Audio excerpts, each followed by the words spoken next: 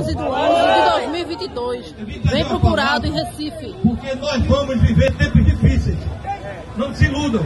A vitória vai ser nossa. Mas vai vir uma rebordosa pesada. Porque eles não jogam como nós jogamos. Nós somos cidadãos de bem.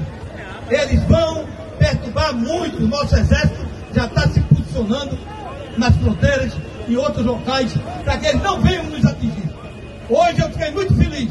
O Exército Brasileiro já mandou prender um policial militar na minha classe, porque aqui prendeu pouco, e o general mandou prender ele em flagrante delito.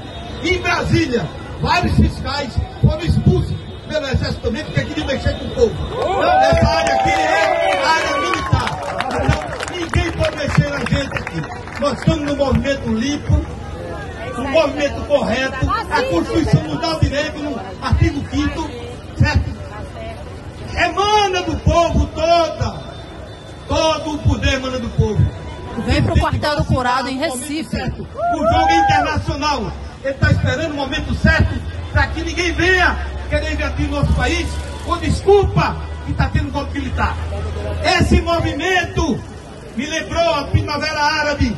Um jovem com apenas 16 anos suicidou-se, tocou fogo no próprio corpo para poder chamar a atenção do absurdo que havia naqueles países, os ditadores.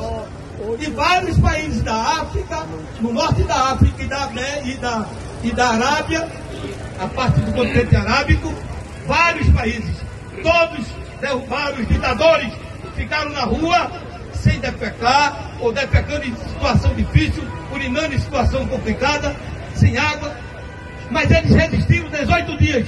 E o Egito derrubou o ditador, e a Líbia derrubou, e o Iêmen derrubou, e o Bahrein derrubou.